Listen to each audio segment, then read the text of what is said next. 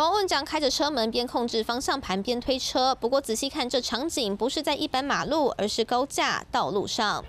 民众气愤，录影抛网，怒骂司机会不会太扯？车卡在高架上，还有小孩在后面帮忙推，出事了怎么办？司机应该也是觉得忘记倒霉了，然后就是在上面的跟人说，就是一直念一直念，然后小孩就帮忙推这样，不知道怎么办呢？然后调查地点就在台六十四线板桥往中和路段。二十五号下午四点多，林姓国中生搭计程车要去参加北区游泳锦标赛，却在路途中遇到突发状况，不仅耗费体力，心情也受到影响，导致比赛成绩。不如预期。准备多久吧？一直都在准备吧，又很紧张，然后又要推车，然后又很赶，然后一到那边直接就要在。大都会打电话都遭指控的计程车车队自称使用最新科技，降低空车率及节省油耗，并把节省费用回馈给乘客和问奖，却发生煤油推车事件，现在看起来格外讽刺。您的电话将转接到语音信箱，嘟声后开始。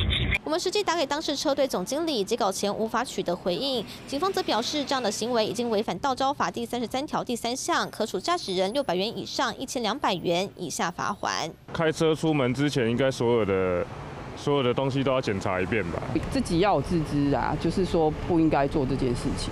那他应该是找打电话找道路救援或什么来帮忙才对。为了方便搭计程车，却反倒拖时间，还暴露在危险之中，乘客安全亮红灯。三顺陈义想、杨心怡新北采访报道。